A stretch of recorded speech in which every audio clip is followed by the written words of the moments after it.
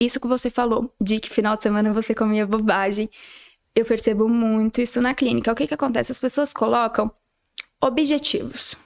Só que não tem como mudar um comportamento só com querer, só com objetivo, só com meta. A gente precisa de decisão.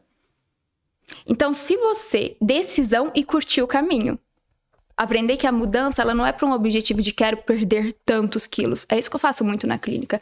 Eu faço o, o paciente começar a ter uma motivação intrínseca de dentro para fora, uma motivação de mudança de vida, de qualidade de vida. Porque se é com foco, quero perder tantos quilos, não dura. Depois volta, aí no final de semana come tudo errado, aí não, não ajuda a desinflamar o corpo é, e, e não tem a decisão. Tem paciente que chega e fala: Eu quero emagrecer e tudo mais, só que eu percebo que não tem a decisão, é, é tem só um objetivo. Quero emagrecer tantos quilos para uhum. tal coisa, porque nas férias eu quero estar tá de biquíni. Tá. Se não tomar decisão, vamos lá pro cérebro. O que, que acontece com o cérebro? Córtex pré-frontal falou isso. Quero emagrecer, certo? Gânglio de base já tem automatizado todos os seus hábitos disfuncionais. Comer bobagem, comer na frente da tela, grelina e leptina completamente desregulada, né? Grelina é fome, leptina, saciedade, completamente desregulado. É... Isso passa ali pro núcleo accumbens, dopamina, que já está motivando aquele comportamento disfuncional. Então, seu circuito cerebral, ele já está todo automatizado. Aquilo já está no gânglio de base, já automatizou. Se o córtex pré-frontal só falou, ah, é um objetivo, só quer, mas não tomou uma decisão, o seu córtex cingulado, ele é o diretor do cérebro. Ele que decide. Porque ele vai pesar o custo-benefício. Ele vai pesar se, se vale a pena a mudança Uhum. Se é melhor o sistema dopaminérgico continuar reforçando aquele comportamento ali que tá mais gostoso, ou se ele vai reforçar porque é uma decisão, é realmente o que a pessoa quer e, e vai liberar também dopamina pro comer certo. Então a gente precisa que o, que o córtex cingulado ele esteja firme. É por isso que a gente precisa de decisão. Quando você fala, ah, eu é, comia certo, chegava no final de semana comia errado. Cadê a decisão? A decisão de mudança de vida. Porque quando você quer mudar de vida, não tem essa de final de semana comer errado.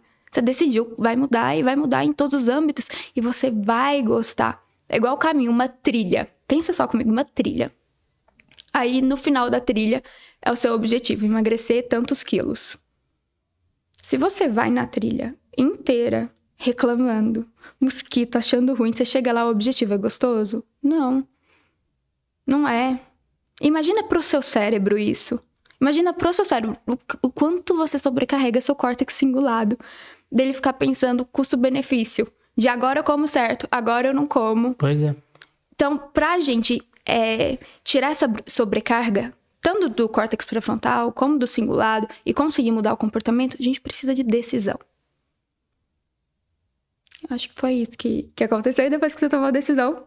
É, e daí você Mudou. começa a. É, e passa a gostar. É, é, literalmente mudar de vida, né? Mudar a vida. porque vida. você começa a entender, tá, quais são os gatilhos do meu ambiente que me fazem, é, sei lá, pedir um McDonald's aqui, pedir alguma coisa ruim. Tá, beleza, vamos entender isso. Como é que eu retiro isso da, da meu dia a dia? Exato. Ou então, por exemplo, o que, que eu posso fazer para ficar mais fácil a questão de comer, não precisar pedir alguma coisa? Ah, Deixa as marmitas prontas, então, final Exato. de semana também. Isso. Não só pra semana. Ah, faz sentido. Aí você vai lá e faz essas coisas. Então, você faz toda uma mudança de ambiente, de vida mesmo.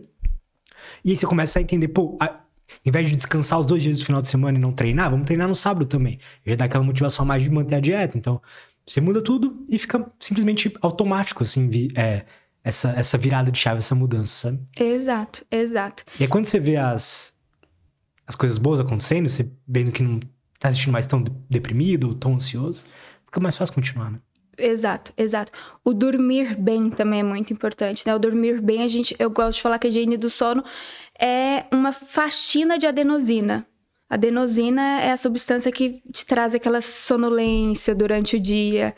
E aí, quando você é, dorme bem, remove toda essa substância ali do seu cérebro, remove a adenosina e você fica disposto.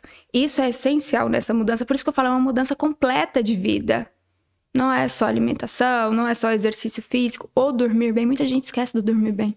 Ou dormir bem também faz diferença. Muito. As pessoas estão tão focadas ali no objetivo, objetivo, objetivo, objetivo, é resultado, resultado, resultado, que elas esquecem o caminho.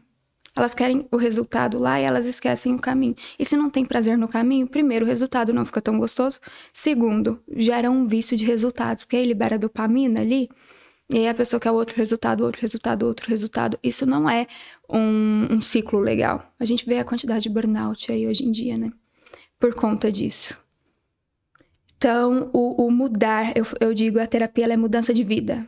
Ela é mudança de mentalidade. Porque é em todas as áreas. Não tem dessa de, ah, eu vou ser mais produtiva porque eu vou virar a noite estudando, porque eu vou. Não. Dorme. A gente precisa remover essa adenosina do seu cérebro. Total. Quem nunca Dorme. caiu nessa armadilha, né? É. Muito. E olha que eu comecei, foi aquilo, eu fiz terceiro colegial junto com, com faculdade, entrei na faculdade muito novinha, então eu não tinha todo esse conhecimento. Imagina o quanto que eu estudava. Ali eu caí muito, não tinha tempo de comer, então eu passava no fast food, eu pegava um McDonald's, e isso para uma TDAH, imagina o quanto eu sofri.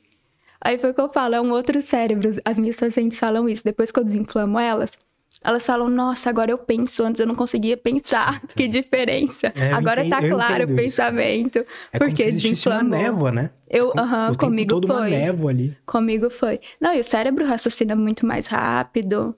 É, fica afiado. É, é o, exato. O corpo é, é outra história. Reprogramou o corpo.